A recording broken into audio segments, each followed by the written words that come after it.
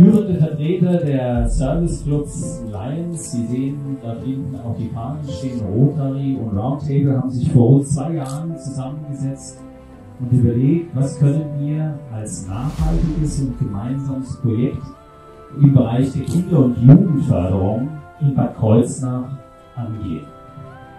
Das erste Mal, dass diese Serviceclubs sich alle zusammentun und gemeinsam an einem Schritt sind. Viele Menschen und viele Institutionen engagieren sich in unzähligen Projekten schon heute in der Kinder- und Jugendförderung. Es wird für die Kinder in dieser Stadt schon wirklich sehr viel getan. Wir haben den Weg gewählt und haben 25 Fachleute aus verschiedenen Organisationen, die sich um Kinder- und Jugendbetreuung kümmern, interviewt. Wir haben mit denen gesprochen über Bad Kreuznach und was und wie wir in Bad Kreuznach für Kinder und Jugendliche tun. Im Ergebnis kamen wir dabei leider zum Teil zu wirklich ernüchternden Ergebnissen.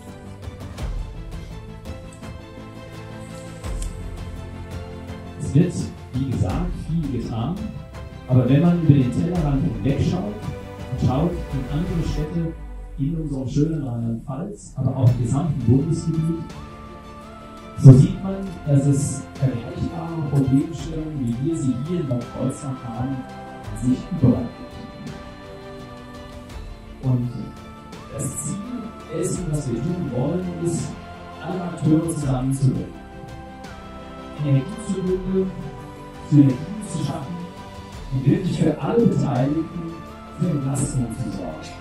Denn das ist das, was in, in anderen Städten als Ergebnis vergleichbarer Projekte umgesetzt wird. Und vor allem steht das Kind. Und die Entwicklung des Kindes von der Geburt bis zum Abschluss der Schulausbildung oder der normalen Aus beruflichen Ausbildung im Mittelpunkt dessen, was in den Städten passiert. Es hört plötzlich auf. Es sind andere Fähigkeiten, andere Qualitäten gefragt, die eigentlich gelernt sein sollten. Allerdings, so gut die das machen, für ganz viele Kinder ganz, ganz schwer ist, weil deren Eltern das auch schon nicht mehr gelernt haben. Das heißt, wir sind in einer weiteren Generation von Eltern, die sehr alleine erzogen haben oder auch schon als Kinder sehr alleine gelassen wurden. Wie sollen die das also können? Jetzt ist der Vorteil, dass die Stadt Bad Kreuznach äh, Schulsozialarbeiter an die Schulen geschickt hat mit vielen Stunden, ich will nicht sagen ausreichend, man könnte immer mehr, aber mit wirklich vielen Stunden, sodass wir einen Teil unterstützen können, nämlich Schule, das Bildungsmonopol ein bisschen zurückzugeben und sie dabei zu unterstützen, Bildung ganzheitlich zu machen. Die Lehrkräfte geben täglich ihr Bestes.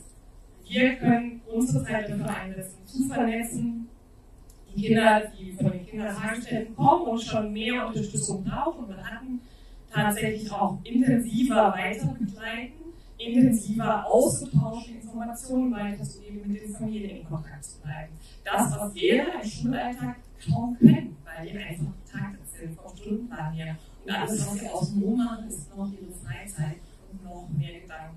Das heißt, sie sind schon einen Schritt weiter der Vernetzung der sehr sensiblen Stellen. Das heißt, die Sozialarbeiter haben tatsächlich die Möglichkeit, ähm, von einer Institution aufzunehmen, intensiver und dann weiterführende Schulen wieder abzunehmen. Ja? Das heißt, anders in Kontakt zu bleiben. Ist aber auch noch in den Kinderschuhen. Und damit will ich das schließen, nämlich mit dem Satz, der Klassiker, es braucht ein ganzes Dorf, um ein Kind zu erziehen oder mehrere. Hier braucht es die ganze Stadt bei der Kreuzach. Daher sind wir auf jeden einzelnen von Ihnen angewiesen. Ja, wir sind jetzt hier am gegen Ende der Veranstaltung äh, des Fördervereins Kids und wir hatten heute hier einen hochinteressanten Tag, einen ähm, sehr ausführlichen Tag auch in der Hinsicht, dass wir wirklich äh, viele, Sie hatten viele Gesprächspartner. Ich stehe hier ähm, mit einem der äh, Mitglieder von dem Verein. Richtig. Und ähm, mein Name ist richtig. Markus Buchholz. Markus Buchholz, genau. Genau.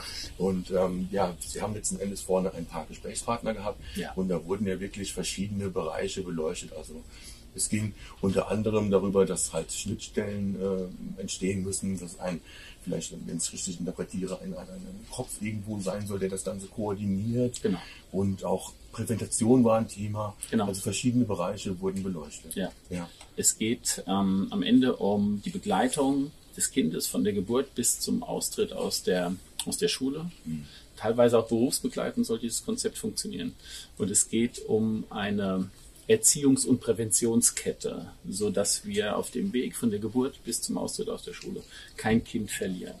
Ähm, dass wir fördern und fordern, dass aber die verschiedenen Institutionen, die sich mit dem Thema Jugendarbeit beschäftigen und Jugendhilfe beschäftigen, dass die untereinander alle wissen, was sie tun ähm, und auch vernetzt sind mit den Vereinen, dass sie vernetzt sind mit äh, Betrieben, mit Unternehmern, so dass wirklich jedes Kind die Maximalförderung bekommt, das es bekommen kann. Oft fehlt es einfach an Wissen, wohin man sich wendet. Die Netzwerke, die bestehen, sind persönlicher Art und Weise.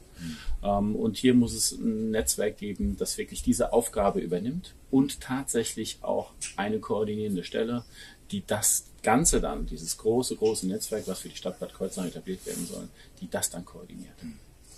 Es wurde ja auch gesagt ähm, von den Personen vorne oder auch ihrerseits, so wie ich es letzten Endes auch sehe, wir haben ja schon hier in Bad Kreuznach irgendwo ganz tolle, äh, sei es Organisationen, sei es Vereinsarbeiten, sei es auch was so entsteht. Kids ist jetzt, äh, ich weiß nicht, wie lange schon dabei bin. Ich Wir sind jetzt ein Jahr genau am Start. Also noch nicht mal ein Jahr. Ja. Ein Jahr und dann doch schon von objektiv betrachtet so viel bewegt letzten Endes. Und es soll weitergehen. Sie haben Ziele, die für die Kinder ganz, ganz wichtig sind. Und die Kinder sind ja letzten Endes die, die später halt so da stehen wie wir. Genau, wir haben festgestellt, dass am Ende die momentane Situation ist, dass alle Menschen, die in diesen in Institutionen arbeiten, dass sie tatsächlich ein großes Stück auch überlastet sind.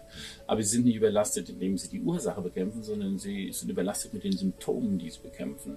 Wir wollen einen Schritt früher eingreifen. Wir möchten ein System etablieren, das Prävention heißt, das heißt Ursachen, Ursachenbekämpfung und da anzusetzen, bevor die Probleme entstehen. Und ich glaube, dass wir das, wenn wir das koordinieren, dass wir dann nicht nur einen moralischen Erfolg für die Kinder erzielen, sondern selbst sogar einen wirtschaftlichen Erfolg für die Stadt. Ja, das ist keine Frage des, ähm, des Geldes nachher, sondern wir müssen jetzt investieren, um später zu sparen. Das wird auch ein wirtschaftlicher Erfolg sein. Nur müssen wir einmal jetzt Geld in die Hand nehmen. Und das ist immer das große Problem. Das ist eine Kannleistung, wird die finanziert, wird sie nicht finanziert. Und da stehen wir ein und da wollen wir für sorgen, dass wir die finanziellen und die wirtschaftlichen Mittel zur Verfügung stellen, um dann auf Basis dieser eine Studie zu erheben und auf Basis dieser Studie einen Projektplan zu entwickeln, der dann mittel- und langfristig diese Probleme an der Ursache bekämpft, mit einer koordinierenden Stelle, die alle Player, die in diesem Konzept Kind ja arbeiten, dass die voneinander wissen und auf alle Ressourcen jederzeit zugreifen können. Ich finde es auch dahingehend toll mit dieser Präventationsarbeit, die man letzten Endes leistet. Ähm, es ist ja wirklich so, wir haben zwar ein Gesundheitssystem, wir haben ein Schulsystem, wir haben viel eigentlich im Gegensatz zu anderen Ländern anscheinend oder scheinbar, wie man es jetzt definiert, ein Fortschritt. Aber letzten Endes habe ich trotzdem den Eindruck, auch als, als Papa von einem fünfjährigen Bub, ähm, dass manch ein Kind durch dieses Netz durchfällt, weil gerade an der Präsentation irgendwo der und begraben liegt. Ja, völlig klar. Wir sind schon sehr gut. Ja. Aber natürlich können wir besser werden. Und genau das ist unser Ansatz. Die Ressourcen sind da. Also die Global Player, die das Thema bearbeiten, sind da und die sind alle hoch motiviert. Mhm. Nun müssen wir dafür sorgen, dass ihnen die Mittel zur Seite stehen und Hilfe zur Seite steht, dass sie das auch umsetzen können. Sie müssen ihre Arbeit so weitermachen wie bisher, sehr erfolgreich, sehr zielorientiert. Nun müssen wir dafür sorgen, dass es irgendwann dann nicht mehr, wie ich schon die ganze Zeit betone, nicht mehr in die Symptome stecken, sondern in die Ursache. Und wenn das passiert, dann wird einfach die Quote der Kinder, die man auf dem Weg verliert, wird immer weniger werden. Und das ist das große Ziel. Ich sage vielen Dank, dass sehr Sie gerne. heute hier sein durften. Sehr, sehr gerne. Gespannt, was noch alles Tolles entsteht und weiter. Berichten Sie weiter. Vielen, vielen Dank. Dankeschön. Tschüss. Tschüss. Gerade junge Eltern sind empfänglich, können erleben, dass die Gesellschaft für sie da ist, für die Kinder da ist, sie schätzt, respektiert, sie willkommen heißt. Was können wir ihnen mit auf den Weg geben? Ich wünsche mir, dass alle, die in der Betreuung und Unterstützung von Familien zusammenarbeiten, dieses auch verantwortungsvoll, vertrauensvoll tun. Zeit für Ideen, Zeit für Kreativität, Zeit, um mit unseren Kindern zu leben. Um die Kinder gezielter zu fördern, zu unterstützen und zu stärken. dass äh, alle Kinder einen guten Zugang zur Bildung hätten und in stabilen familiären Verhältnissen aufwachsen. Damit so soziale Träger wie wir einfach überflüssig werden und die Hilfe direkt schon dort ist bei den Menschen, wo sie gebraucht wird.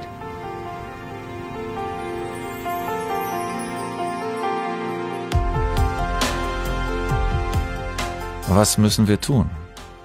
Was können wir tun?